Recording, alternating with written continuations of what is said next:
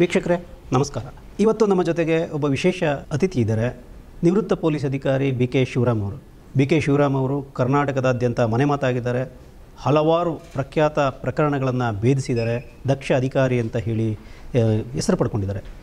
ಇವತ್ತು ನಾವು B K Shivaram ಅವ್ರ ಮುಂದೆ ಪ್ರಜ್ವಲ್ ಪೆಂಡ್ರೈ ಪ್ರಕರಣಕ್ಕೆ ಸಂಬಂಧಪಟ್ಟಂಥ ಕೆಲವು ಪ್ರಶ್ನೆಗಳನ್ನ ಅವ್ರ ಮುಂದಿಡೋಣ ಈ ಕೇಸು ಯಾವ ದಿಕ್ಕಿಗೆ ಸಾಗ್ತಾ ಇದೆ, ಪ್ರಸಕ್ತ ಯಾವ ಹಾದಿಯಲ್ಲಿದೆ, ಮುಂದೆ ಏನಾಗ್ಬೋದು ಅದರ ಪೂರ್ವಾಪರಗಳ ಬಗ್ಗೆ ನಾವು ಚರ್ಚೆ ಮಾಡೋಣ. ಸರ್ ನಮಸ್ಕಾರ. ನಮ್ಮ ಚರ್ಚೆಗೆ ಸ್ವಾಗತ. ಸರ್ ಮೊದಲನೇದಾಗಿ ನಾಗರಿಕರಾಗಿ ತಮಗೆ ಈ ಹಗರಣ ತಿಳಿದು ಬಂದಾಗ ಏನನ್ನಿಸ್ತು ಸರ್? ತಮ್ಮ ಫೀಲಿಂಗ್ ತಮ್ಮ ರಿಯಾಕ್ಷನ್ ಏನು? ನನಗೆ ಈ ರೀತಿಯ ಪ್ರಕರಣಗಳು ಬಂದಾಗ ಹೆಣ್ಣು ಮಕ್ಕಳ ಮೇಲೆ ನಡೆಯುವಂಥ ದೌರ್ಜನ್ಯಗಳು ಬಂದಾಗ ನಾವು ನಾಗರಿಕ ಸಮಾಜದಲ್ಲಿ ಇದ್ದೀವೋ ಇಲ್ಲವೋ ಅನ್ನೋ ಭಾವನೆ ಬಹಳ ಬೇಗ ಬರುತ್ತೆ.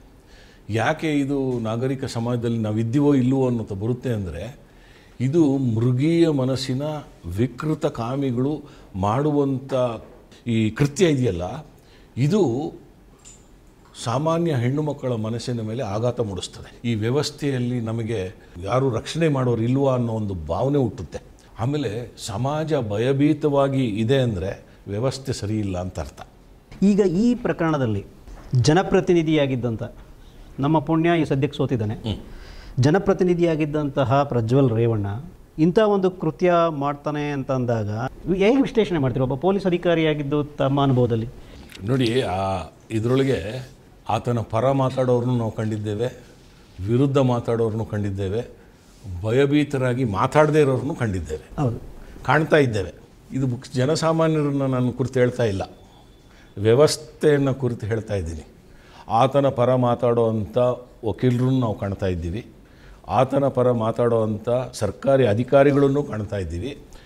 ಆತನ ಪರವಾಗಿ ಮಾತಾಡ್ತಂದ ಆ ಜಾತಿ ಹೊಂದಿಗರನ್ನು ಕಾಣ್ತಾ ಇದ್ದೀವಿ. ಮಾಜಿ ಸಿ ಎಂ ಎಚ್ ಡಿ ಕುಮಾರಸ್ವಾಮಿಯವರು ಹಲವಾರು ಬಾರಿ ಮಾತಾಡ್ತಾ, ಅವರು ನನ್ನ ಕುಟುಂಬದ ವಿರುದ್ಧ ಷಡ್ಯಂತ್ರ ನಡೀತಾ ಇದೆ. ಇದೆಲ್ಲ ಷಡ್ಯಂತ್ರ. ಒಂದು ಕಡೆಗೆ ಉಪ್ಪು ತಿಂದವ್ರು ನೀರು ಕುಡಿಲಿ ಅನ್ನೋ ಥರದ್ದು ಒಂದು ಸ್ಟೇಟ್ಮೆಂಟ್ ಕೊಡ್ತಾರೆ. ಮತ್ತು ಪದೇ ಪದೇ ಪದೇ ಪದೇ ಮಾತಾಡೋದೇನೆಂದರೆ ನನ್ನ ಕುಟುಂಬದ ವಿರುದ್ಧ ಷಡ್ಯಂತ್ರ ನಡೀತಾ ಇದೆ. ಈ ಸ್ಟೇಟ್ಮೆಂಟ್ ಕೊಡ್ತಾರೆ. ಜೊತೇಲಿ ಹೇಳೋದೇನೆಂದರೆ ಮೊನ್ನೆ ಮೊನ್ನೆ ಅವ್ರು ಹೇಳಿದ್ದು ಆದರೆ ಅದರಲ್ಲಿ ಒಂದು ಮುಖನೇ ಇಲ್ಲವಂತೆ ಪ್ರಜ್ವಲನ ಮುಖನೇ ಇಲ್ಲ ಅದರಲ್ಲಿ. ಅದೆಲ್ಲ ತನಿಖೆ ಆಗಬೇಕು. ಈ ಥರದ ಸ್ಟೇಟ್ಮೆಂಟ್ಸ್ ಕೊಡ್ತಾರೆ. ಅದನ್ನು ವಿಡಿಯೋ ನೋಡಿರೋರು ಕೂಡ ಹೇಳೋ ವಿಷಯ ಏನಂದರೆ ಅದರಲ್ಲಿ ಒಂದು ಮುಖ ಇಲ್ಲ ಅನ್ನೋದು ವರದಿ ಆಗ್ತಾ ಇದೆ. ಈ ಮುಖ ಇಲ್ಲದೆ ಇರೋದ್ರಿಂದ ಅವ್ನು ತಪ್ಪಿಸ್ಕೊಳ್ಳೋ ಸಾಧ್ಯನ ಅಪರಾಧಿ ತಪ್ಪಿಸ್ಕೊಳ್ಳೋಕೆ ಸಾಧ್ಯತೆ ಇದೆಯಾ? ಇದು ನನ್ನ ಪ್ರಕಾರ ಮುಖವಿಲ್ಲದೆ ಇರೋರು ಮಾತಾಡುವಂಥ ಮಾತು. ಮಾತು. ಯಾಕೆ ಮುಖವಿಲ್ಲದೆ ಇರೋರು ಮಾತಾಡ್ತಾ ಇದ್ದಾರಂಥ ಮಾತು ಅಂತ ಹೇಳ್ತೀನಿ. ನೀವು ಒಂದು ರಾಜ್ಯದ ಪ್ರಮುಖ ಸ್ಥಾನದಲ್ಲಿದ್ದಂಥವ್ರು, ಮೊದಲನೇ ಸ್ಥಾನದಲ್ಲಿದ್ದಂಥವ್ರು, ಮೊದಲನೇ ಪ್ರಜೆ ಆಗಿದ್ದಂಥವರು, ಇದನ್ನು ಮಾತಾಡಬಾರ್ದು. ಅದು ನಿಮ್ಮ ಕುಟುಂಬದ ಸದಸ್ಯನಾಗಿರಲಿ, ಬೇರೆ ಕುಟುಂಬದ ಸದಸ್ಯನಾಗಿರಲಿ, ಇದು ಮಾಡಿರೋದು ಅನ್ಯಾಯ. ಅದನ್ನು ಒಪ್ಕೊಂಡು ನೀವೇ ಹೇಳಿದ್ದೀರಿ. ಉಪ್ಪು ತಿಂದವನು ನೀರು ಕುಡಿಬೇಕು ಅಂತ.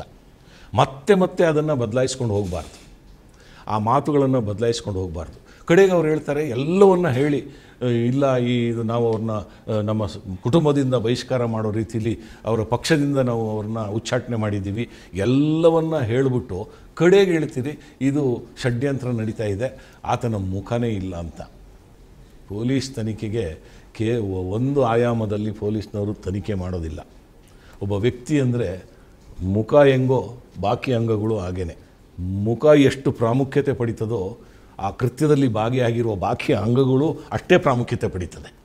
ವೈಜ್ಞಾನಿಕವಾಗಿ ತನಿಖೆ ನಡೀತದಲ್ಲ ವೈಜ್ಞಾನಿಕವಾಗಿ ತನಿಖೆ ನಡೆದಾಗ ಇದೆಲ್ಲವೂ ಈಚೆ ಬರುತ್ತೆ.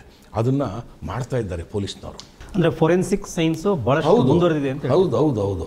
ಫೊರೆನ್ಸಿಕ್ ಸೈನ್ಸ್ ಎಲ್ಲಿ ತನಕ ಮುಂದುವರೆದಿದೆ ಅಂದರೆ ಹಾಸನದಲ್ಲಿ ಒಂದು ಮನೆಯಲ್ಲಿ ನನ್ನ ಮೇಲೆ ಅತ್ಯಾಚಾರ ಆಗಿದೆ ಅಂತ ಕೊಡ್ತಾರೆ. ಆ ಮನೆ ಸಾಧಾರಣ ಮನೆ ಅಲ್ಲ ಆ ಮನೆ ಒಂದು ವಸತಿ ಗ್ರಹ ಅಲ್ಲ ಏನು ಲಾಡ್ಜಸ್ ಅಂತ ಹೇಳ್ತೀವಲ್ಲ ಅದಲ್ಲ. ಆ ಮನೆಯಲ್ಲಿ ಕಂಡ ಕಂಡವರಿಗೆ ಬಾಡಿಗೆ ಕೊಡೋದಿಲ್ಲ. ಆ ಮನೆ ಈ ದೇಶದ ಪ್ರತಿಷ್ಠಿತ ಪ್ರಧಾನಿಯ ಅಧಿಕೃತ. ಅಧಿಕೃತ ನಿವಾಸ. ಗೌರವ ಗೌರವಯುತವಾಗಿ ಕೊ- ಸರ್ಕಾರದಿಂದ ಕೊಡಲ್ಪಟ್ಟ ನಿವಾಸ. ಇದಕ್ಕೆ ನನ್ನನ್ನು ಬಿಡಲ್ಲ ನಿಮ್ಮನ್ನು ಬಿಡಲ್ಲ ಅವರ ನೆಂಟ್ರಿಸ್ಟ್ರನ್ನು ಬಿಡೋದಿಲ್ಲ. ಅವರ ಅನುಮತಿ ಇಲ್ಲದೆ ಇದ್ದಾರೆ. ಅಲ್ಲಿ ಏನೇನು ಈಗ ಮಹಜರ್ ಮಾಡಿದ್ದಾರೆ ಪೊಲೀಸರು ಸೀಜ್ ಮಾಡಿದ್ದಾರೆ. ಏನೇನು ಸೀಜ್ ಮಾಡಿದ್ದಾರೆ? ಇದರೊಳಗೆ ಎಲ್ಲವೂ ಬರುತ್ತೆ. ಎಲ್ಲವೂ ಬರುತ್ತೆ. ಅದರೊಳಗೆ ನೋಡಿ ಆ ಹಾಸಿಗೆ ಸೀಜ್ ಮಾಡಿದ್ದಾರೆ. ಬೆಡ್ಶೀಟ್ನ ನೀವು ಬದಲಾಯಿಸ್ಕೊಂಡು ಹೋಗಿರ್ಬೋದು. ಹಾಸಿಗೆ ಇರುತ್ತೆ. ಹಾಸಿಗೆ ಇರುತ್ತೆ. ಹಾಸಿಗೆಯಲ್ಲಿ ಬೆವರಿನ ಕಲೆ ಸಿಕ್ಕಿದ್ರೆ ನಿಮ್ಮ ಬೆವರು ಅಲ್ಲೋ ಅನ್ನೋ ಹೇಳೋ ಮಟ್ಟಕ್ಕೆ ವಿಜ್ಞಾನ ಬೆಳೆದಿದೆ. ಸೆಮೈನಲ್ ಸ್ಟೇನ್ಸು ವೀರ್ಯದ ಕಲೆ ಬಿದ್ದಿದ್ರೆ ಡಿ ಎನ್ ಎ ಟೆಸ್ಟಲ್ಲಿ ಗೊತ್ತಾಗ್ತದೆ.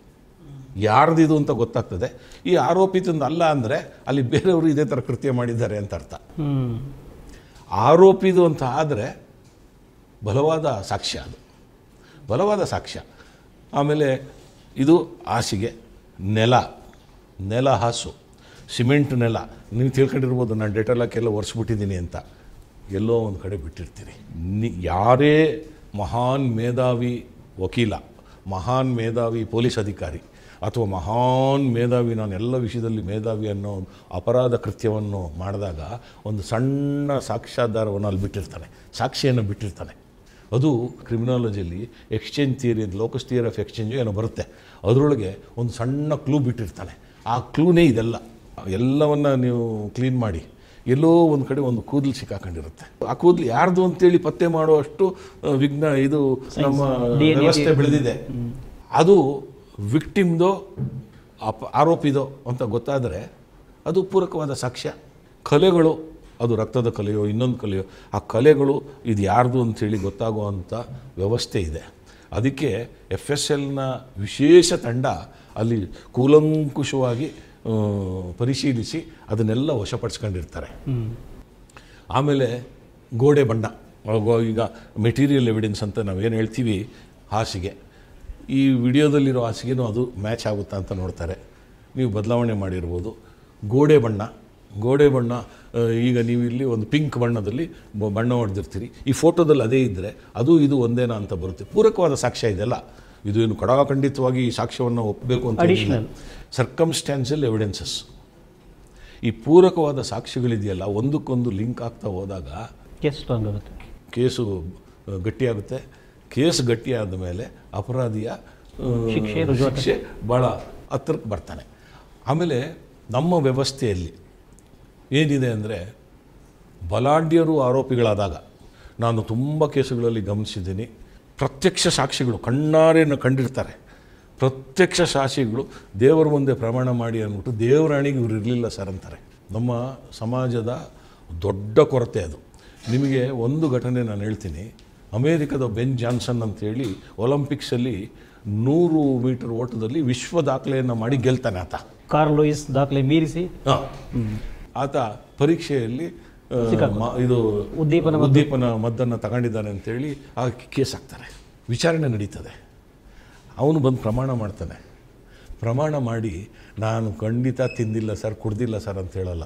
ನಾನು ತಗೊಂಡಿದ್ದೆ ಒಪ್ಪಿದ್ದೀನಿ ತಗೊಳ್ಳಿ ನಿಮ್ಮ ಪ್ರಶಸ್ತಿ ಅಂತ ವಾಪಸ್ ಕೊಡ್ತಾನೆ. ಆದರೆ ನಮ್ಮಲ್ಲಿ ನೀವು ಸಿ ಸಿ ಟಿ ವಿಲಿ ಬಿದ್ದಿರಿ. ನೀವು ಯಾವುದು ಎಲ್ಲ ನಿಮ್ಮದು ಫಿಂಗರ್ ಪ್ರಿಂಟೇ ಅಲ್ಲಿ ಸಿಕ್ಕಿರುತ್ತೆ. ನಂದು ಅಲ್ವೇ ಅಲ್ಲ ಫಿಂಗರ್ ಪ್ರಿಂಟ್ ಅಂತೀರಿ. ಇದು ನನಗೂ ಈ ಫಿಂಗರ್ ಪ್ರಿಂಟ್ಗೂ ಸಂಬಂಧನೇ ಇಲ್ಲ ಅಂತೀರಿ. ಕೆಲವು ಕಡೆ ಆ ಥರ ವಾದಗಳು ಆಗುತ್ತೆ. ಆದರೆ ಅವ್ರ ತಲೆ ತಲೆಯೊಳಗೆ ವಿಚಾರಣೆ ಹತ್ತಾರು ವರ್ಷ ನಡೆಯುತ್ತೆ. ಅವ್ರ ತಲೆಯೊಳಗೆ ಗೊತ್ತಿಲ್ಲ. ಎಷ್ಟು ಕೋಟಿ ಜನಸಂಖ್ಯೆ ಪ್ರಪಂಚ 700 ಕೋಟಿ. ಏಳ್ನೂರು ಕೋಟಿ ಜನಸಂಖ್ಯೆಯಲ್ಲಿ ಈ ಫಿಂಗರ್ ಪ್ರಿಂಟ್ ಇದೆಯಲ್ಲ? ಅದು ಏಳ್ನೂರು ಕೋಟಿ ಏಳ್ನೂರು ಕೋಟಿವರೆಗೂ ಬೇರೆ ಬೇರೆ. ನೋ ಐಡೆಂಟಿಕಲ್ ಪ್ರಿಂಟ್ಸ್ ಈ ಥರದ್ದು ಫೊರೆನ್ಸಿಕ್ ಈ ವಿಧಿವಿಜ್ಞಾನ ಇದರೊಳಗೆ ಭಾಳ ಮುಂದಕ್ಕೆ ಬೆಳೆದಿದೆ ಅದು. ಅದು ಹೇಗಿದೆ ಅಂದರೆ ನಮಗೆ ಆಶ್ಚರ್ಯ ಆಗಿಬಿಡುತ್ತೆ ಈ ಥರದ್ದೆಲ್ಲ ಈಗ ಹ್ಯಾಂಡ್ ರೈಟಿಂಗ್ ಎಕ್ಸ್ಪರ್ಟು ಈಗ ನಿಮ್ಮ ಶಬ್ದ, ಧ್ವನಿ ಪರೀಕ್ಷೆ. Handwriting expert fingerprints footprints ಆಮೇಲೆ D N A D N A ಟೆಸ್ಟ್ಗಳು superimposition ಈ ಥರದ್ದೆಲ್ಲ ತುಂಬ ಸೈನ್ಸ್ ಬೆಳೆದಿರೋದ್ರಿಂದ ಆರೋಪಿಗಳಿಗೆ ತಪ್ಪಿಸ್ಕೊಳ್ಳೋದು ಆಮೇಲೆ ನೋಡಿ ಇನ್ನೊಂದು ಈಗ ನಾವೆಲ್ಲ ನೋಡಿದ್ದೀವಿ ಮಾಧ್ಯಮದಲ್ಲಿ. ಪ್ರಜ್ವಲ್ ರೇವಣ್ಣ ಪ್ರಕರಣದಲ್ಲಿ ಇವ್ರಿಗಿದು ಬಹುಶಃ ಹ್ಯಾಬಿಚುವಲ್ ಅಫೆನ್ಸ್ ಆಗಿಬಿಟ್ಟಿರ್ಬೇಕು. ಯಾಕೆ ಹ್ಯಾಬಿಚುವಲ್ ಅಫೆನ್ಸ್ ಆಗಿದೆ ಅದು ಹ್ಯಾಬಿಚುವಲ್ ಆಗಿರಲೇಬೇಕು. ಅಲ್ಲಿ ನೂರಾರು ಮಹಿಳೆಯರು ಇದ್ದಾರೆ ಅಲ್ಲಲ್ಲ ಯಾಕೆ ಹ್ಯಾಬಿಚುವಲ್ ಆಗಿರಬೇಕು ಅಂತ ನಾನು ಹೇಳ್ತೀನಿ ಅಂದರೆ ಇದು ಅವ್ರ ಗಮನದಲ್ಲಿರುತ್ತೆ. ಸಿ ವಿಕೃತ ಮನಸ್ಸಿನ ಆರೋಪಿಗಳಿರೋ ಕಡೆ ಏನು ಮಾಡ್ತಾರೆ ಈ ಯಾರ ಮನೇಲೂ ಸಿ ಸಿ ಟಿ ವಿ ಇಲ್ವಂತಲ್ಲ ಸಿ ಸಿ ಟಿ ವಿ ಇಲ್ಲದೆ ಈಗ ಈ ಮನೆ ರಸ್ತೆಗಳೇ ಇಲ್ಲ ಮನೆಗಳೇ ಇಲ್ಲ. ಆದರೆ ಈ ಮನೆಗಳಿಗೆ ಸಿ ಸಿ ಟಿ ವಿನೇ ಇಲ್ಲ ಅಂದರೆ ಯಾಕೆ? ದುರುದ್ದೇಶ. ದುರುದ್ದೇಶ. ಇದನ್ನು ತನಿಖೆಯಲ್ಲಿ ತರ್ತಾರೆ. ತನಿಖೆಯಲ್ಲಿ ತಂದು ಇಡ್ತಾರೆ. ಆಮೇಲೆ ಇವತ್ತೇನು ಮುಗಿದೋಗ್ಬಿಡೋಲ್ಲ ಈ ತನಿಖೆ. ಇದು ವಿಚಾರಣೆಗೆ ಬರಬೇಕಾದ್ರೆ ಇನ್ನೊಂದು ಎರಡು ಮೂರು ವರ್ಷ ಆಗುತ್ತೆ. ಎರಡು ಮೂರು ವರ್ಷ ತಂದರೆ ಇವರು ಬಲಾಢ್ಯರ ಕೇಸುಗಳಲ್ಲಿ ಬಹುತೇಕ ಸಾಕ್ಷಿದಾರರನ್ನು ಬೆದರ್ಸಿ ನೋಡ್ತಾರೆ. ಫಸ್ಟ್ ಆಮಿಷ ಕೊಡ್ತಾರೆ. ಒತ್ತಡ ಹಾಕ್ತಾರೆ. ಸಂಬಂಧಿಕರಿಂದ ಒತ್ತಡ ಹಾಕ್ತಾರೆ. ಆಪ್ತರಿಂದ ಒತ್ತಡ ಹಾಕಿಸ್ತಾರೆ. ದೊಡ್ಡ ಆಮಿಷಗಳನ್ನು ಕೊಡ್ತಾರೆ. ಆ ಆಮಿಷಗಳ ಜೊತೆ ಯಾವುದಕ್ಕೂ ಬಗ್ಲಿಲ್ಲ ಅಂದರೆ ಬೆದರಿಕೆ ಹಾಕ್ತಾರೆ. ಆ ಸಾಕ್ಷಿದಾರರಿಗೆ ಆತ್ಮಸ್ಥೈರ್ಯ ತುಂಬಿ ಆ ಸಾಕ್ಷಿದಾರರು ಧೈರ್ಯವಾಗಿ ಬಂದು ನ್ಯಾಯಾಲಯದಲ್ಲಿ ನಿಂತು ಸಾಕ್ಷಿ ಕೊಡುವಂಥ ವ್ಯವಸ್ಥೆಯನ್ನು ಮಾಡಬೇಕಾಗಿರೋದು ವ್ಯವಸ್ಥೆ. ನಮ್ಮ ಸರ್ಕಾರಗಳು ಸರ್ಕಾರ ಜವಾಬ್ದಾರಿ ಇದರೊಳಗೆ ಇಲ್ಲವೇ ಇಲ್ಲ. ಎಲ್ಲರೂ ನಾವು ಸರ್ಕಾರದ ಮೇಲೆ ಹೇಳ್ಬಿಡ್ತೀವಿ. ಅದಿರೋದು ಪೊಲೀಸ್ ವ್ಯವಸ್ಥೆ. ನಾವು ಸರ್ಕಾರವನ್ನು ಪ್ರತಿನಿಧಿಸ್ತೀವಲ್ಲ ಪೊಲೀಸರು. ನ್ಯಾಯಾಂಗ ವ್ಯವಸ್ಥೆ ಪ್ರಾಸಿಕ್ಯೂಷನ್ ವ್ಯವಸ್ಥೆ. ಪ್ರಾಸಿಕ್ಯೂಷನ್ ನೋಡಿ ಒಬ್ಬ ವಕೀಲ ಆ ಪ್ರಕರಣವನ್ನು ತಗೊಳ್ತಾರೆ. ಅವರು ವೃತ್ತಿ ಧರ್ಮ, ತನ್ನ ಕಕ್ಷಿದಾರರನ್ನು ರಕ್ಷಿಸಬೇಕು. ನೂರು ಪ್ರಶ್ನೆಗಳನ್ನ ಕೇಳ್ತಾರೆ. ಆದರೆ ಸಾಕ್ಷಿದಾರರಿಗೆ ಆತ್ಮಸ್ಥೈರ್ಯವನ್ನು ತುಂಬಿ ನ್ಯಾಯಾಧೀಶರ ಮುಂದೆ ನಿಲ್ಲುವಂಥ ವ್ಯವಸ್ಥೆಯನ್ನು ಪೊಲೀಸ್ ವ್ಯವಸ್ಥೆ ಮಾಡಬೇಕು, ಪ್ರಾಸಿಕ್ಯೂಷನ್ ವಿಭಾಗ ವ್ಯವಸ್ಥೆ ಮಾಡಬೇಕು, ಮತ್ತು ನ್ಯಾಯಾಂಗದಲ್ಲೂ ನೋಡಿ ಈಗ ಕೆಲವು ಸಾಕ್ಷಿದಾರರು ಹೆಣ್ಣು ಮಗು ಈ ಪ್ರಜ್ವಲ್ ರೇವಣ್ಣ ಕೇಸಲ್ಲಿ ಸಾಕ್ಷಿದಾರರು, ವಿಕ್ ಸಂತ್ರಸ್ತೆಯರು ಹೆಣ್ಮಕ್ಳು ಅವ್ರನ್ನ ಓಪನ್ ಕೋರ್ಟಲ್ಲಿ ವಿಚಾರಣೆ ಮಾಡೋ ಹಾಗೆ ಇಲ್ಲ. ಇನ್ ಕ್ಯಾಮ್ರಾದಲ್ಲೇ ಮಾಡಬೇಕು. ಆ ನ್ಯಾಯಾಧೀಶರು ಅವರ ಚೇಂಬರಲ್ಲಿ ಇನ್ ಕ್ಯಾಮ್ರಾ ವಿಚಾರಣೆ ಮಾಡಬೇಕು. ಇಲ್ಲ, ನಾನಿಲ್ಲ, ಓಪನ್ ಕೋರ್ಟಲ್ಲಿ ಮಾಡ್ತೀನಿ ಅಂದಾಗ ನೀವು ಸುಮ್ಮನೆ ಇರಬಾರ್ದು ಪ್ರಾಸಿಕ್ಯೂಷನ್ನವರು. ಸ್ವಾಮಿ, ಇದನ್ನು ಇನ್ ಕ್ಯಾಮ್ರಾದಲ್ಲಿ ಮಾಡಬೇಕು ಅಂತೇಳು ಇದೆಲ್ಲ ಆ ಸಂತ್ರಸ್ತೆಯರಿಗೆ ಸಾಕ್ಷಿದಾರರಿಗೆ ಒಂದು ಮಾನಸಿಕವಾಗಿ ಧೈರ್ಯ ಬರುತ್ತೆ. ಧೈರ್ಯ ಕೊಡುವಂಥ ಧೈರ್ಯ ಕೊಟ್ಟಾಗ ವಿಚಾರಣೆ ನಡೆದರೆ ಒಳ್ಳೆ ಫಲಿತಾಂಶ ಬರುತ್ತೆ. ಜನಸಾಮಾನ್ಯರು ಮೆಚ್ಚುತ್ತಾರೆ ಈಗ ಇಷ್ಟೆಲ್ಲ ನಡೆದು ನಾಳೆ ಸಂತ್ರಸ್ತೆ ನ್ಯಾಯಾಲಯದಲ್ಲಿ ನಿಂತು ನನಗೇನೂ ಆಗಿಲ್ಲ ಇವ್ರು ಯಾರು ಗೊತ್ತೇ ಇಲ್ಲ ನನಗೆ ಅಂತ ಅಂದುಬಿಟ್ರೆ ನ್ಯಾಯಾಧೀಶರೂ ಏನೂ ಮಾಡಲಿಕ್ಕಾಗೋದಿಲ್ಲ. ಕೇಸನ್ನು ಖುಲಾಸೆ ಮಾಡಲೇಬೇಕಾಗುತ್ತೆ. ಬೇರೆ ಸಾಂದರ್ಭಿಕ ಸಾಕ್ಷಿಗಳೆಲ್ಲ ಇರ್ತಾವಲ್ಲ ಸರ್? ಮೆಟೀರಿಯಲ್ ಎವಿಡೆನ್ಸ್ ಅಲ್ಲಲ್ಲ ಅದಕ್ಕೆ ಅದಕ್ಕೆ ಇವಾಗ ಏನು ಮಾಡಿದ್ದಾರೆ ಇದರೊಳಗೆ ಅಂದರೆ ನ್ಯಾಯಾಧೀಶರ ಮುಂದೆ ಹೇಳಿಕೆಯನ್ನು ಪಡೆದಿದ್ದಾರೆ. One sixty four one sixty four ಹೇಳಿಕೆ ಓದ ತಕ್ಷಣ ಮಾಡ್ಕೊಂಬಿಡಲ್ಲ. ನ್ಯಾಯಾಧೀಶ ನೋಡಮ್ಮ ನೀನು ಹೇಳ್ತಾ ಇರೋದು ಈ ಹೇಳಿಕೆ ನಾನು ಮುಂದೆ ನಿನಗೆ ಯಾರ್ದಾದ್ರೂ ಒತ್ತಡ ಇದೆಯಾ ಬೆದರಿಕೆ ಇದೆಯಾ ಪೊಲೀಸರಿಂದ ಏನಾದರೂ ಒತ್ತಡ ಬಂದಿದೆಯಾ ಅಂತ ಕೇಳ್ತಾರೆ. ನಮ್ಗೆ ಏನೂ ಇಲ್ಲ ಸರ್ ನೀನು ಇದನ್ನು ಸ್ವಯಂ ಪ್ರೇರಣೆಯಿಂದ ಹೇಳ್ತಾ ಇದ್ದೀರಾ ಅಂತ ಹೇಳಿ ಅದನ್ನು ರೆಕಾರ್ಡ್ ಮಾಡಿ ರೆಕಾರ್ಡ್ ಮಾಡ್ತಾರೆ. ಆಮೇಲೆ ಹೇಳ್ತಾರೆ, ಇದು ನಾಳೆ ನೀನು ಇದಕ್ಕೆ ವ್ಯತಿರಿಕ್ತ ಸಾಕ್ಷ್ಯ ನೀಡಿದ್ರೆ ನಿನ್ನ ಮೇಲೆ ಕ್ರಮ ಆಗಲಾಗುತ್ತೆ ಅಂತ ಹೇಳ್ತಾರೆ. ಅದೆಲ್ಲ ಹೇಳಿ ದಾಖಲೆ ಮಾಡೋದ್ರಿಂದ ಅದು ದಾಖಲಾಗುತ್ತೆ. ವ್ಯತಿರಿಕ್ತ ಶಕ್ತಿ ನುಡಿದ್ರೆ ಅವರು, ಪರ್ಜುರಿ ಕೇಸ್ ದಾಖಲು ಮಾಡ್ಬೋದು ಅವ್ರ ಮೇಲೆ? ಅವ್ರಿಗೆ ಶಿಕ್ಷೆ ಕೊಡ್ಬೋದು. ಅದರಿಂದ ಅವರು ಹೇಳ್ತಾರೆ. ಅದಕ್ಕೆ ಈ ಈ ವಿಚಾರಣೆಗಳಿಗೆಲ್ಲ ಏನು ಕೇಸು ಶಿಕ್ಷೆಯಲ್ಲಿ ಮುಗೀತದೋ, ಖುಲಾಸೆಯಲ್ಲಿ ಮುಗೀತದೋ ಅಂತ ಹೇಳಲಿಕ್ಕೆ ಕನಿಷ್ಠ ಎರಡರಿಂದ ಮೂರು ವರ್ಷ ಬೇಕು. ಇನ್ನೊಂದು ಈಗ ಚರ್ಚೆ ನಡೀತಾ ಇರೋಂಥದ್ದು ಏನಪ್ಪ ಅಂದರೆ, ಈ ಸೆಕ್ಷುವಲ್ ಅಫೆನ್ಸ್ ಮಾಡಿದಂಥ ವ್ಯಕ್ತಿ, ಪ್ರಜ್ವಲ್ ರೇವಣ್ಣ ಪ್ರೈಮ್ ಮೇಲ್ ಮೇಲ್ನೋಟಕ್ಕೆ ಅದು ಕಾಣ್ತಾ ಇದೆ, ಇಡೀ ಸಮಾಜ ನೋಡಿದೆ. ಅದರ ಬಗ್ಗೆ ಚರ್ಚೆ ಇಲ್ಲ, ಅದರ ಬಗ್ಗೆ ದೊಡ್ಡ ಚರ್ಚೆ ಇಲ್ಲ. ಅದಾದ ನಂತರದಲ್ಲಿ ಅದನ್ನು ರೆಕಾರ್ಡ್ ಮಾಡಿದ ವಿಕೃತಿಗೆ, ಅದನ್ನು ರೆಕಾರ್ಡ್ ಮಾಡ್ಕೊಳ್ಳೋದು ಇನ್ನೊಂದು ವಿಕೃತಿ ಮಾಡಿದ್ದಾನೆ. ಅದ್ರ ಬಗ್ಗೆ ಚರ್ಚೆ ಇಲ್ಲ. ಚರ್ಚೆ ಯಾವ್ದು ನಡೀತಾ ಇದೆ ಅಂದರೆ, ಇದನ್ನು ಯಾರು ಹಂಚಿದ್ರು? ಇದು ಈ ಪಕ್ಷದವ್ರು ಹಂಚಿದ್ರೆ, ಆ ಪಕ್ಷದವ್ರು ಹಂಚಿದ್ರೆ, ಅವ್ರು ಹಂಚಿದ್ರೆ, ಇವ್ರು ಹಂಚಿದ್ರೆ, ಇದ್ರ ಸುತ್ತ ಇಡೀ ಮಾಧ್ಯಮದಲ್ಲಿ ಕಳೆದ ಎರಡು ಮೂರು ತಿಂಗಳಿಂದ ಇದೇ ರಾಮಾಯಣ ಆಗಿಬಿಟ್ಟಿದೆ. ತಮಗೇನಿಸುತ್ತೆ ಆ್ಯಸ್ ಎ ಪೊಲೀಸ್ ಆಫೀಸರ್ ಯಾವ ಯಾವ ಕೃತ್ಯಕ್ಕೆ ಎಷ್ಟು ಗ್ರಾವಿಟಿ ಇದೆ ಕಾನೂನಲ್ಲಿ? ನೋಡಿ ಮೊದಲಿಗೆ ಲೈಂಗಿಕ ಅತ್ಯಾಚಾರ ಘೋರವಾದ ಅಪರಾಧ. ಸಂತ್ರಸ್ತೆಗೆ ಆಗಿರೋ ಅನ್ಯಾಯ ಘೋರ. ಅದು ಅದರ ಬಗ್ಗೆ ಕ್ರಮ ತೆಗೆದುಕೊಳ್ಳೋದು ಮೊದಲನೇ ಜವಾಬ್ದಾರಿ. ಆಮೇಲೆ ಅದನ್ನು ಯಾರು ವಿಡಿಯೋ ಮಾಡಿ ವಿಡಿಯೋ ಮಾಡಿದ್ದಾರೆ ಈಗ ಇದು ಎಲ್ಲವನ್ನು ನೋಡಿದಾಗ ಒಂದು ನಲವತ್ತೈವತ್ತು ಜನದ್ದು ಒಂದು ಮೂರು ಸಾವಿರ ವಿಡಿಯೋಗಳು ಇದೆ ಅಂದಾಗ ಆ ವಿಡಿಯೋವನ್ನು ಯಾವುದರಿಂದ ಮಾಡಿದ್ದಾರೆ ಅನ್ನೋದನ್ನು ಈ ಪೊಲೀಸ್ನವರು ತೆಗಿತಾರೆ. ಅದಿನ್ನೂ ಸಿಕ್ಕಿಲ್ಲ ಸಿಕ್ಕಿಲ್ಲ. ಆದರೆ ಇಂಥ ಫೋನಿಂದ ಬಂದಿದೆ ಅಂತೇಳಿ ಗೊತ್ತಾಗುತ್ತೆ. ಒಂದು ಹಂತದಲ್ಲಿ ಗೊತ್ತಾಗುತ್ತೆ. ಅಲ್ಲಿವರೆಗೂ ಗೊತ್ತಾಗೋ ತನಕ ತನಿಖೆ ನಡೀತಾ ಇದೆ. ಸಾಕ್ಷ್ಯ ನಾಶಕ್ಕೆ ದಾರಿ ಅದು ಆಮೇಲೆ ಈಗ ಈಗ ಯಾರೋ ಒಬ್ಬರು ವಕೀಲರು ಇದನ್ನು ನಾನು ಬಿಡ್ತೀನಿ ಅಂತ ಹೇಳ್- ಹೇಳ್ತಾ ಇದ್ರು. ದೇವರಾಜೇಗೌಡ ಎಂಬ ವಕೀಲ ಬಿ ಜೆ ಪಿ ಪಕ್ಷದ ಜಿಲ್ಲಾ ಏನೋ ಮುಖ್ಯಸ್ಥ ಕೂಡ. ಈ ಮನುಷ್ಯ ನನ್ನ ಹತ್ರ ಪೆನ್ ಡ್ರೈವ್ ಇದೆ ಇವ್ರದ್ದು ಹೌದು. ಇದನ್ನು ನಾನು ಬೀದಿಲಿ ಬಿಡ್ತೀನಿ ಅಂತ ಹೇಳಿ ಪದೇ ಪದೇ ಪ್ರೆಸ್ ಮೀಟ್ ಮಾಡಿದ್ದಾರೆ. ಅಷ್ಟು ಮಾತ್ರ ಅಲ್ಲ ಪರ್ಮಿಷನ್ ಕೊಟ್ಟರೆ ಹಾಸನದ ಸರ್ಕಲ್ನಲ್ಲಿ ಎಂಥದ್ದು L C D. L C D T V ಹಾಕಿ ಪ್ರದರ್ಶನ ಮಾಡ್ತೀನಿ ಅಂತ ಹೇಳಿರೋ ಮಟ್ಟಕ್ಕೆ ಹೋಗಿದೆ.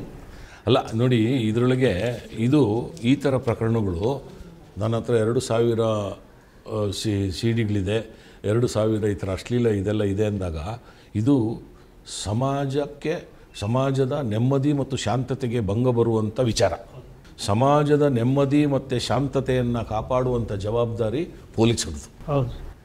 ಸಮಾಜದ ನೆಮ್ಮದಿ ಮತ್ತು ಶಾಂತತೆಗೆ ಭಂಗ ತರುವಂಥ ಕ್ರಮಗಳ ಬಗ್ಗೆ ಮುಂಜಾಗ್ರತಾ ಕ್ರಮವಾಗಿ ಅಡ್ವಾನ್ಸ್ ಇನ್ಫಾರ್ಮೇಶನ್ ಕಲೆಕ್ಟ್ ಮಾಡಬೇಕಾಗಿರೋದು ಇಂಟೆಲಿಜೆನ್ಸ್ ಇಲಾಖೆದು ಪೊಲೀಸ್ ಇಲಾಖೆಯ ಇಂಟೆಲಿಜೆನ್ಸ್ ಇಲಾಖೆ. ಇದರ ಸುವಮೋಟ ಕೂಡ ತಗೋಬೋದಿತ್ತಲ್ಲ ಸರ್? ತಗೋಬೋದಿತ್ತು. ಈಗ ಒಬ್ಬ ಮನುಷ್ಯ ಪ್ರೆಸ್ ಮೀಟ್ ಮಾಡಿ ನನಗೆ ಇಂಥದ್ದೆಲ್ಲ ಸಿ ಡಿಗಳಿದ್ದಾವೆ ಅಂತ ಹೇಳಿದ್ರೆ ಒಂದು. ಎರಡನೇದು ಸರ್ ಇದರ ಇದರ ಫಾಲೋಔಟ್ ಆಗಿ ಈ ಮನುಷ್ಯ ಪ್ರಜ್ವಲ್ ರೇವಣ್ಣ ಹೋಗಿ ಕೋರ್ಟಲ್ಲಿ ಒಂದು ಇಂಜೆಕ್ಷನ್ ಆರ್ಡರ್ ತರ್ತಾನೆ. ಈಗ ಅದು ದುರಂತ.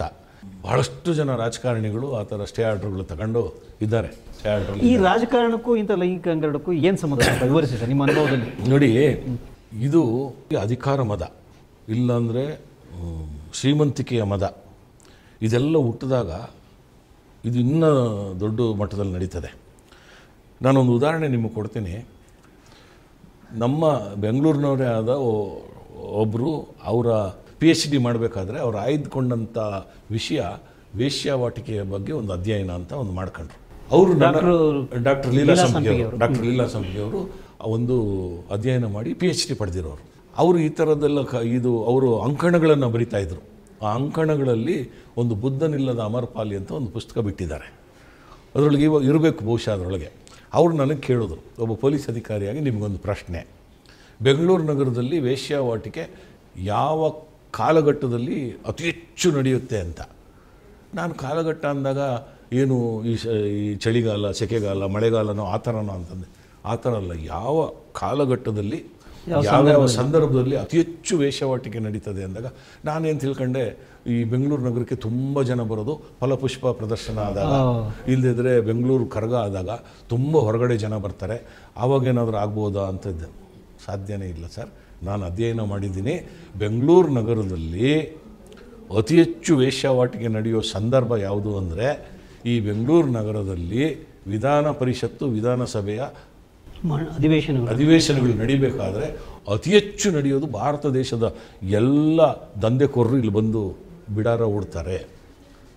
ಇದು ದುರಂತ ನಮ್ಮ ದುರಂತ ಅಲ್ವಾ? ವ್ಯವಸ್ಥೆಯಲ್ಲಿ ಅವರು ನಮಗೆ ಮಾರ್ಗದರ್ಶಕರಾಗಿರಬೇಕು. ಅಂದರೆ ಅಧಿವೇಶನ ನಡೆಯೋ ಸಂದರ್ಭದಲ್ಲಿ ಎಂ ಎಲ್ ಎಗಳು ಎಂ ಪಿ ಇತ್ಯಾದಿಗಳು ಎಂ ಮಿನಿಸ್ಟರ್ಗಳು ಅವರ ಹಿಂದೆ ಇರತಕ್ಕಂಥ ಪುಡಾರಿ ಲಾಭಿಕೋರರು ಎಲ್ಲರೂ ಇದೇ ಮನಸ್ಥಿತಿಯಲ್ಲಿ ಇರ್ತಾರೆ. ಎಲ್ಲರೂ ಇಲ್ಲಿ ಬಂದಿದ್ರು ಟಲಾಯಿಸಿರ್ತಾರೆ ಬೆಂಗಳೂರು ಸುತ್ತ ಹೌದು. ಬೆಂಗಳೂರಿನಲ್ಲಿ. ಹೌದು. ಸೊ ಆಮೇಲೆ ಅದು ಕೆಳ ಹಂತದಿಂದ ದೊಡ್ಡ ಹಂತದ ವೇಶ್ಯಾವಾಟಿಕೆಯವರು ಬೆಂಗಳೂರಲ್ಲಿ ಬಂದಿರ್ತಾರಂತೆ. ವಿಮಾನದಲ್ಲಿ ಬಂದು ಹೋಗುವಂಥವರು ಇರ್ತಾರೆ. ಅಂದರೆ ವಿಮಾನದಲ್ಲಿ ಬಂದು ಹೋಗೋರು ಅಂದರೆ ಯಾವ ಮಟ್ಟದ ಒಂದು ದಂಧೆ ನಡೀತಾ ಇರ್ಬೋದು. ಹೈ ಪ್ರೊಫೈಲ್ ಹೈ ಪ್ರೊಫೈಲು ಈ ನನಗೆ ಗೊತ್ತಿರೋ ಹಾಗೆ ರಾಜಕಾರಣಿಗಳು ಸಮಾಜಕ್ಕೆ ಮಾರ್ಗದರ್ಶಕರಾಗಿರಬೇಕು. ಮಾರಕ ಆಗಿದ್ದಾರೆ. ಈಗ ಮಾರಕರಾಗ್ತಾ ಇದ್ದಾರೆ. ಆಮೇಲೆ ಅಸಹ್ಯ ಆಗ್ತದೆ ಅವ್ರು ನೋಡುವಾಗ. ಆಮೇಲೆ ಈ ಮೂರು ಪ್ರಕರಣಗಳು ಏನು ಬೆಂಗಳೂರಲ್ಲಿ ಈಗ ನಡಿ ನಡೆದಿದೆ. ಈ ಮೂರು ಪ್ರಕರಣಗಳಲ್ಲಿ ಮೂರು ಅಂದರೆ ಒಂದು ಪ್ರಜ್ವಲ್ ಬಂತು ನಂತರ ಯಡಿಯೂರಪ್ಪ ಅವ್ರದ್ದೊಂದು ಪೋಕ್ಸೋ ಕೇಸ್ ಬಂತು ಈಗ ದರ್ಶನ್. ದರ್ಶನ್ ಬಂತು. ಈ ಮೂರರಲ್ಲೂ ನಮಗೆ ಅವ್ರನ್ನ ಆರೋಪಿಗಳ ಬಗ್ಗೆ ಮಾತಾಡಬೇಕಾದ್ರೆ ನಾವು ಸಮಾಜಕ್ಕೆ ಏನು ಉತ್ತರ ಕೊಡಬೇಕು ಅನ್ನೋದು ನಮಗೆ ಗೊತ್ತಾಗೋದಿಲ್ಲ. ಅವ್ರು ಹೇಳ್ಬೋದು, ಇದು ನಾನು ಮಾಡೇ ಇಲ್ಲ ಅಂತಲೇ ಹೇಳಬೇಕು ಅವರು. ನಾನು ಮಾಡಿದ್ದೀನಿ ಅಂತ ಯಾರೂ ಒಪ್ಕೊಳ್ಳೋದಿಲ್ಲ. ಆದರೆ ಈಗ ನಡಿ, ನಡೆದಿರೋದು ಘಟನೆಗಳು ನೋಡಿರೋದು, ನೀವು ಈಗ ಈ ಘಟನೆ ದರ್ಶನ್ ಘಟನೆಯಲ್ಲಿ ಭಾಳ ಅದ್ಭುತವಾಗಿ ಪೊಲೀಸರು ತನಿಖೆ ಮಾಡ್ತಾಯಿದ್ದಾರೆ ಭಾಳ ಅದ್ಭುತ ತನಿಖೆ. ಆ ತನಿಖೆ ಎಫ್ ಐ ಆರಲ್ಲಿ ಯಾರ ಹೆಸರು ಇಲ್ಲ. ಒಂದು ಶವ ಸಿಕ್ಕಿದೆ ಅಂತಾರೆ ಅದು ಒಳ್ಳೆ ರೀತಿಯಲ್ಲಿ ತನಿಖೆ. ಕ್ಲೀನಾಗಿ ಎಲ್ಲರೂ ಸಿಕ್ಕಿಬಿದ್ದಿದ್ದಾರೆ ಪ್ರಜ್ವಲ್ ರೇವಣ್ಣ ಪ್ರಕರಣದಲ್ಲಿ ನಾನಲ್ಲ ನನ್ನ ಮುಖ ಇಲ್ಲ ಅಂತ.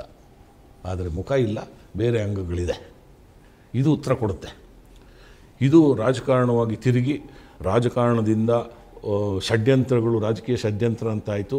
ಆಮೇಲೆ ಜಾತಿಯ ರಾಜಕಾರಣ ಅಂತ ಮಾಡಿದ್ರು. ಈ ಜಾತಿಯ ರಾಜಕಾರಣಿ ಇನ್ನೊಂದು ಪಕ್ಷದ ರಾಜಕಾರಣಿ ಮೇಲೆ ಗೂಬೆ ಕೊಡಿಸ್ಲಿಕ್ಕೆ ಹೋದರು ಇನ್ನೊಬ್ಬರು ಅವ್ರನ್ನ ಮುಚ್ಚಾಕ್ಲಿಕ್ಕೆ ನೋಡಿದ್ರು. ಆದರೆ ಎಲ್ಲರೂ ಕೈ ಬಿಟ್ಟರು ಆದರೆ ಕೆಲವರು ಈಗಲೂ ಕೈ ಬಿಟ್ಟಿಲ್ಲ. ಆಮೇಲೆ ಮೂರೂ ಜನದ್ದು ಆ, ಒಂದ ವಿಡಿಯೋಲಿ ಬಿದ್ದಿದೆ ಇಲ್ಲ ಸಿ ಸಿ ಟಿ ವಿಲಿ ಬಿದ್ದಿದೆ ಇಲ್ಲ ಇನ್ನೊಂದ್ರಲ್ಲಿ ಬಿದ್ದಿದೆ. ಇದು ನಾನೆಲ್ಲ ಮಾತಾಡಿರೋದು ಅಂತ. ಅದು ತನಿಖೆ ಆಗಬೇಕು ತಾನೆ. ಖಂಡಿತ ತನಿಖೆ ಆಮೇಲೆ ನೀವೊಬ್ಬ ಜವಾಬ್ದಾರಿಯುತ ವ್ಯಕ್ತಿ ಆಗಿದ್ದರೆ ಸಮಾಜದಲ್ಲಿ ನೀವೆಲ್ಲರೂ ಜವಾಬ್ದಾರಿಯುತ ವ್ಯಕ್ತಿ. ಮೂರು ಜನನು ಯಾವುದು ಉನ್ನತ ಸ್ಥಾನದಲ್ಲಿರೋ ಜವಾಬ್ದಾರಿಯುತ ವ್ಯಕ್ತಿಗಳು ನೀವು. ನಿಮ್ಮ ಇದು ಏನಿರಬೇಕಾಗಿತ್ತು ಅಂದರೆ ನನ್ನ ಮೇಲೆ ದೂರು ಬಂದಿದೆ ತನಿಖೆಗೆ ಒಳಪಡಿಸಿ ಅಂತೇಳಿ ನೀವು ಪೊಲೀಸರ ಮುಂದೆ ನಿಲ್ಲಬೇಕಾಗಿತ್ತು ಒಬ್ಬ ಓಡೋಗಿ ವಿದೇಶದಲ್ಲಿ ತಲೆ ಮರೆಸ್ಕೊಳ್ತಾನೆ. ಒಬ್ಬ ನಾನು ಬರ್ತೀನಿ ಬರ್ತೀನಿ ಅಂತೇಳಿ ಬರೋದೇ ಇಲ್ಲ ತನಿಖಾಧಿಕಾರಿ ಮುಂದೆ. ಒಬ್ಬ ಏನು ಮುಚ್ಚಿ ಇದು ಯಾರನ್ನೋ ಬೇರೆಯವ್ರನ್ನ ಬಿಟ್ಟು ಮೂವತ್ತು ಲಕ್ಷ ಕೊಟ್ಬಿಟ್ಟು ಮುಚ್ಚಾಕ್ಲಿಕ್ಕೆ ಪ್ರಯತ್ನ ಮಾಡ್ತಾನೆ. ಆ ಮೂವತ್ತು ಲಕ್ಷನೂ ಪೊಲೀಸರು ಸೀಸ್ ಮಾಡಿದ್ದಾರೆ. ಇದೆಲ್ಲ ಈ ಅವ್ರು ತಿಳ್ಕೊಂಡಿರ್ಬೋದು. ನಾವು ಬಲಾಢ್ಯ ವಕೀಲರನ್ನ ನೇಮಕ ಮಾಡ್ಕೊಂಡು ಕೇಸ್ ಗೆದ್ಬಿಡ್ಬೋದು ಅಂತ. ನೀವು ಕೇಸು ಗೆಲ್ಲೂಬಹುದು. ಆದರೆ ಒಂದು ನ್ಯಾಯಾಲಯ ಇದೆ. ಅದು ನಿಮ್ಮ ಆತ್ಮಸಾಕ್ಷಿಯ ನ್ಯಾಯಾಲಯ. ನಿಮ್ಮ ಸುತ್ತಮುತ್ತಲಿರುವವರ ಆತ್ಮಸಾಕ್ಷಿಯ ನ್ಯಾಯ. ಎಲ್ಲರನ್ನೂ ನೀವು ಮಂಗ ಮಾಡ್ಬೋದು. ಆದರೆ ಈ ಆತ್ಮಸಾಕ್ಷಿಯನ್ನು ನೀವು, ಆತ್ಮಸಾಕ್ಷಿಗೆ ದ್ರೋಹ ಮಾಡಲಿಕ್ಕಾಗಲ್ಲ. ಈ ನ್ಯಾಯಾಲಯದಲ್ಲಿ ನೀವೇ ತೀರ್ಪುದಾರರು ನೀವೇ ನ್ಯಾಯಾಧೀಶರು, ನೀವೇ ಅಪರಾಧಿಗಳು. ಅದರಿಂದ ಜವಾಬ್ದಾರಿಯುತ ಸ್ಥಾನದಲ್ಲಿರೋರು ಅದಕ್ಕೆ ಬಾಧ್ಯರಾಗಿರಬೇಕು. ಬದ್ಧತೆ ಇರ್ತದೆ. ಒಂದು ಏನು ಸಂಹಿತೆ ಇರ್ತದೆ ಅವರಿಗೆ. ಆ ಸಂಹಿತೆ ಒಳಗಡೆ ಅವ್ರು ಕೆಲಸ ಮಾಡಬೇಕಾಗ್ತದೆ. ಇದು ಅವರು ತಲೆಯಲ್ಲಿರಬೇಕು. ತನಿಖೆ ಮಾಡುವಂಥ ಪೊಲೀಸ್ ಅಧಿಕಾರಿಗಳು ಕಟುಕರಾಗಬಾರ್ದು. ನಿಷ್ಠುರವಾದಿಗಳಾಗಿರಬೇಕು. ಕಾನೂನು ಪರಿಪಾಲನೆ ಮಾಡೋರಾಗಲಿ ನ್ಯಾಯಾಧೀಶರಾಗಲಿ ಕಟುಕರಾಗಬಾರ್ದು. ಆದರೆ ನೇರವಂತಿಕೆ ನ್ಯಾಯವಂತಿಕೆ ನಿಷ್ಠುರವಾದಿಗಳಾಗಿರಬೇಕು. ಈ ಮೂರೂ ಪ್ರಕರಣಗಳಲ್ಲಿ ಅವ್ರು ಎಷ್ಟೇ ದೊಡ್ಡವರು ಇರ್ಬೋದು ಅಧಿಕಾರದಲ್ಲಿ ದೊಡ್ಡವರು ಇರ್ಬೋದು ಅಥವಾ ಅವ್ರ ಅಂತಸ್ತು ದೊಡ್ಡದಿರ್ಬೋದು ಆದರೆ ಹಣ ಇರ್ಬೋದು. ಹಣ ಇರ್ಬೋದು ಎಲ್ಲವೂ ಇರ್ಬೋದು ಆದರೆ ಈ ಮೂರೂ ಜನ ವಿಕೃತ ಮನಸ್ಸಿನವರು ಅಂತ ನೀವು ಒಪ್ಕೊಂತೀರಾ? ಸಾಂದರ್ಭಿಕ ಪರಿಸ್ಥಿತಿಗಳು ಕಂಪ್ಲೇಂಟು ಇದೆಲ್ಲ ನೋಡಿದಾಗ ವಿಕೃತ ಮನಸ್ಸಿನವರು ಅಂತ ನಾವು ಅಂತೀವಿ. ಅವರು ವಿಕೃತ ಖುಲಾಸೆ ಆಗ್ಬೋದು. ಆದರೆ ಆ ಸಂತ್ರಸ್ತೆ ಯಾರು ನೋವು ಉಂಡಿರ್ತಾಳಲ್ಲ ಅವಳು ಖಂಡಿತ ಕ್ಷಮಿಸಲ್ಲ. ನಿಜ. ಈ ನ್ಯಾಯಾಂಗ ನ್ಯಾಯಾಂಗ ವ್ಯವಸ್ಥೆ ಅಲ್ಲ ಇಡೀ ದೇಶದ ವ್ಯವಸ್ಥೆಯನ್ನು ಆಕೆ ಕ್ಷಮಿಸಲ್ಲ. ನಾವು ಈ ವ್ಯವಸ್ಥೆ ಅವ್ರಿಗೆ ಮಾಡುವಂಥ ಅನ್ಯಾಯ ಅಂತ ನನ್ನ ಭಾವ ಅಲ್ಲ ನಿಮ್ಮ ಒಂದು ಅನುಭವದಲ್ಲಿ ಸರ್ ನೀವು ಬೆಂಗಳೂರು ನಗರದಲ್ಲಿ ಭಾಳಷ್ಟು ಕಾಲ ಸೇವೆ ಸಲ್ಲಿಸಿದ್ರಿ ಇಲಾಖೆಯಲ್ಲಿ. ಈ ಥರದ ಘಟನೆಗಳು ಈ ಥರ ಸಿ ಡಿ ಪೆನ್ ಡ್ರೈವು ಈ ಥರ ಬಿಡುಗಡೆ ಆದಂಥ ಘಟನೆಗಳು? ಎಂಬತ್ತರ ದಶಕದಲ್ಲಿ ಒಂದು ಸಮ್ಮತ ಪ್ರೇಮ ಪ್ರಕರಣ. ಇಬ್ಬರು ಶ್ರೀಮಂತರ ಮಕ್ಕಳು. ಎಲ್ಲೋ ಒಂದು ಕಡೆ ಹೋಗಿ ಒಪ್ಪಿತ ಒಂದು ಸನ್ನಿವೇಶವನ್ನು ಇವರೇ ರೆಕಾರ್ಡ್ ಮಾಡ್ಕೊಳ್ತಾರೆ. ಅವರ ಮೊ ಕ್ಯಾಮ್ರಾದಲ್ಲಿ ಮಾಡ್ತಾರೋ ಮೊಬೈಲಲ್ಲಿ ಮಾಡ್ತಾರೋ ಮಾಡ್ಕೊತಾರೆ. ಅವರು ಅವರು ಇಚ್ಛೆಪಟ್ಟು ಮಾಡ್ಕೊಂಡಿರ್ತಾರೆ. ಅವನು ಅದನ್ನೇನು ಮಾಡ್ತಾನೆ? ಅವರ ಸ್ನೇಹಿತನಿಗೊಬ್ಬನು ತೋರಿಸ್ತಾನೆ. ಅವನು ಅದನ್ನು ರೆಕಾರ್ಡ್ ಮಾಡ್ಕೊಳ್ತಾನೆ. ನನ್ನ ಹತ್ರದಲ್ಲಿ ಯಾರೂ ಕೊಡಲ್ಲ. ಆದರೆ ಅವನ ನಂಬಿಕೆ ದ್ರೋಹ ಮಾಡಿ ಇಡೀ ಸಮಾಜಕ್ಕೆ ಗೊತ್ತಾಗಾಗೆ ಅದನ್ನು ಸಿ ಡಿ ರೂಪದಲ್ಲಿ ಬಿಡ್ತಾರೆ. ಆಗ ಆ ಆ ಸಿ ಡಿಗೆ ಒಂದು ಹೆಸರು ಕೊಡ್ತಾರೆ. ಮೈಸೂರು ಮಲ್ಲಿಗೆ ಅಂತ ಹೆಸರು ಕೊಟ್ಟು ಬಿಡ್ತಾರೆ. ಅಂದರೆ ಅದು ಮೈಸೂರಲ್ಲಿ ಅಶ್ಲೀಲ ಸಿ ಡಿ ಹ್ಞೂ ಹ್ಞೂ ಹ್ಞೂ ಅಶ್ಲೀಲ ಸಿ ಡಿ ಕಾಮ ಪ್ರಚೋದಕ ಸಿ ಡಿ ಅಶ್ಲೀಲ ಸಿ ಡಿ ಅದು ಬೆಂಗಳೂರು ನಗರದಲ್ಲಿ ಗ್ರೇ ಮಾರ್ಕೆಟಲ್ಲಿ ಕದ್ದು ಮುಚ್ಚಿ ಮಾರಾಟಕ್ಕೆ ಶುರು ಮಾಡಿಬಿಟ್ಟಿರ್ತಾರೆ. ಇದು ವಿಕೃತ ಮನಸ್ಸನ್ನ ಅವರು ಮಾಡುವಂಥ ಕೃತ್ಯ. ಈಗ ನಮಗೆ ವಿಕೃತ ಕಾಮಿಗಳು ಯಾರು, ಬೇರೆ ಯಾರು ಅಂಥೇಳಿ ನಮಗೆ ಯೋಚನೆ ಮಾಡೋಕ್ಕೆ ಅವಕಾಶನೇ ಸಿಗಲ್ಲ. ಸ್ವಾಮೀಜಿಗಳು ವಿಕೃತ ಕಾಮದಲ್ಲಿ ಸಿಕ್ಕಾಕೊಂಡಿರೋರಿದ್ದಾರೆ. ಆ ಸ್ವಾಮೀಜಿ ಒಬ್ಬರು ಸಿಕ್ಕಾಕೊಂಡಾಗ ಅವ್ರ ಮೇಲೆ ಕೇಸೂ ದಾಖಲಾಗ್ತದೆ. ಸಂತ್ರಸ್ತ ಮಹಿಳೆ ಧೈರ್ಯವಾಗಿ ಹೋಗಿ ದೂರನ್ನು ದಾಖಲು ಮಾಡ್ತಾರೆ. ದೂರು ದಾಖಲು ಮಾಡಿ ತನಿಖೆ ಇಷ್ಟು ಅಡ್ಡಿಪಡಿಸ್ತಾರೆ ತನಿಖೆಗೆ ಅಂದರೆ ಇಡೀ ವ್ಯವಸ್ಥೆ ಅಡ್ಡಿಪಡಿಸೋಕೆ ಶುರು ಮಾಡುತ್ತೆ. ಎಂಟು ಜನ ಎಂಟು ಜನ ನ್ಯಾಯಾಧೀಶರು ಯಾವ ನ್ಯಾಯಾಲಯದ ನ್ಯಾಯಾಧೀಶರು? ನ್ಯಾಯಾಧೀಶರು ಅವರು ವಾಪಸ್ ಯಾವ ನ್ಯಾಯಾಲಯ ಮಾಡಲ್ಲ ಉಚ್ಚ ನ್ಯಾಯಾಲಯದ ನ್ಯಾಯಾಧೀಶರು. ಉಚ್ಚ ನ್ಯಾಯಾಲಯದ ನ್ಯಾಯಾಧೀಶರು ಹಿಂದಕ್ಕೆ ಹೋಗ್ತಾರೆ ಅಂದರೆ ಅವ್ರ ಮೇಲೆ ಅವ್ರಿಗೆ ನಂಬಿಕೆ ಇಲ್ಲ ಅಂತ ಆಗಲ್ವ ಅದು? ಅಂದರೆ ನಾವು ಅವರು ನ್ಯಾಯಪೀಠದಲ್ಲಿ ಕೂತಿರೋರು ನಮಗೆ ಖಂಡಿತ ನ್ಯಾಯ ಕೊಡ್ತಾರೆ ಅನ್ನೋ ಭಾವನೆ ನಮಗಿರ್ತದೆ. ಅವರೇ ಹಿಂದಕ್ಕೆ ಹೋದಾಗ ಅವ್ರಿಗೆ ಜಸ್- ಜನಸಾಮಾನ್ಯರಿಗೆ ನಮ್ಮ ಈ ಸಾ- ಸಾಮಾನ್ಯ ನಾಗರಿಕನಿಗೆ ಒಂದು ತಲೆಯೊಳಗೆ ಒಂದು ಬರ್ತದೆ. ಏನಂತ ಬರ್ತದೆ ಅಂದರೆ ನ್ಯಾಯಾಧೀಶರು ಎದುರ್ಕೊಂಡ್ಬಿಟ್ಟಿದ್ದಾರೆ. ಅಂದ್ರೆ ಸಾಕ್ಷಿ ಸಾಕ್ಷಿ ಯಾರು ನೋಡಿತಾರೆ? ಇದು ನ್ಯಾಯಾಧೀಶರೇ ಇನ್ನು ಸರಿತಾರೆ ಅಂತ ವಿಚಾರಣೆ ಮಾಡೋರು ಯಾರು? ನ್ಯಾಯಾಂಗ ಪ್ರಕ್ರಿಯೆಯಲ್ಲಿ ಸಾಕ್ಷಿದಾರನಿಗೆ ಆತ್ಮಸ್ಥೈರ್ಯ ತುಂಬುವಂಥ ವ್ಯವಸ್ಥೆ ಇರಬೇಕು. ಆತ್ಮಸ್ಥೈರ್ಯ ತುಂಬೋದು ಯಾರು? ಒಬ್ಬ ಸಾಕ್ಷಿದಾರನಿಗೆ ನ್ಯಾಯಾಲಯದ ಕಟಕಟೆಯಲ್ಲಿ ನಿಂತ್ಕೊಂಡು ಸಾಕ್ಷ್ಯ ನುಡಿಸೋದಕ್ಕೆ ಆತ್ಮಸ್ಥೈರ್ಯ ತುಂಬುವಂಥವ್ರು ನ್ಯಾಯಾಂಗ ವ್ಯವಸ್ಥೆ, ಪ್ರಾಸಿಕ್ಯೂಷನ್ ವ್ಯವಸ್ಥೆ, ಪೊಲೀಸ್ ವ್ಯವಸ್ಥೆ. ಈ ಮೂರೂ ವ್ಯವಸ್ಥೆಗಳು ಸಮಾಜದ ಅವಿಭಾಜ್ಯ ಅಂಗ. ಈ ನ್ಯಾಯಾಂಗ ಪ್ರಕ್ರಿಯೆಯಲ್ಲಿ ಭಾಳ ಮುಖ್ಯವಾದ ಈ ಮೂರು ವ್ಯವಸ್ಥೆಗಳು.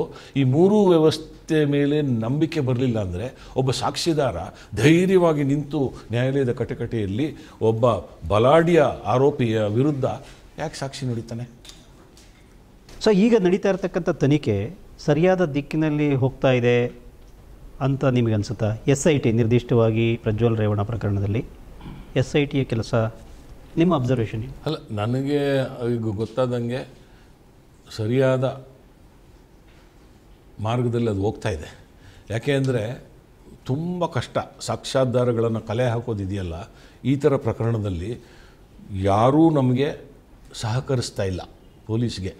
ಸಹಕಾರ ಸಿಕ್ಕಿದಾಗ ತನಿಖೆ ಭಾಳ ಬೇಗ ಆಗಿಬಿಡುತ್ತೆ.